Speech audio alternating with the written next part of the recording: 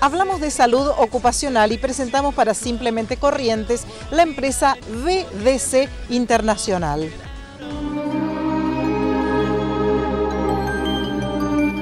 Bueno, BDC Internacional es una empresa eh, que se formó en el 2006 en la provincia de Corrientes y está dedicada íntegramente a la atención de la salud ocupacional. Eh, nacimos acá en Corrientes y hoy, siete años después, eh, brindamos servicios de salud ocupacional en distintas provincias del país, como ser Chubut, Santa Cruz, Río Negro, Chaco, Formosa, Misiones. ¿Qué es la salud ocupacional, doctor? Bueno, la Organización Mundial de la Salud define la salud ocupacional como la actividad multidisciplinaria tendiente a eh, proteger al trabajador y buscar la salud del mismo.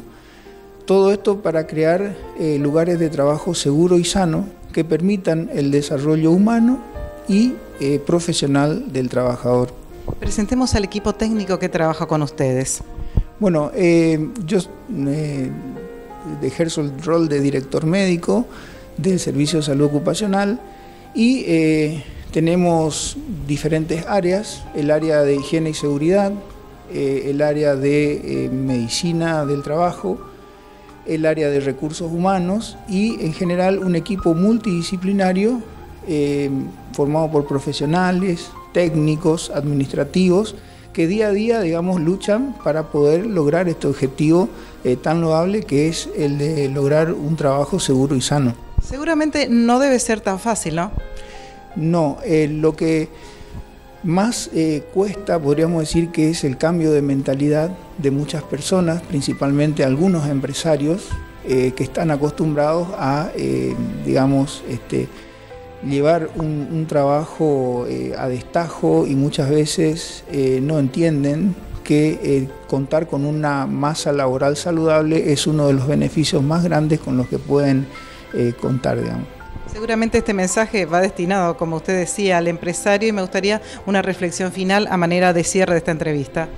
Bueno, el problema es que la medicina del trabajo durante muchos años se ha em, tergiversado entendiendo de que el, médico ejercía un rol de policía al ir a constatar si realmente el empleado estaba enfermo. Eh, a partir de ahí se partía de esa premisa del que el empleado mentía hasta que el médico se constituía en el domicilio o lo revisaban en el consultorio y a partir de ahí se le otorgaba una licencia.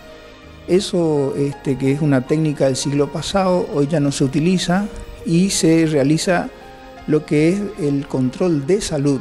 Entonces, lo que normalmente llaman control de ausentismo es un eh, procedimiento, podríamos decir, obsoleto, y hoy lo que se busca justamente es buscar y lograr el más alto índice de salud en el trabajador.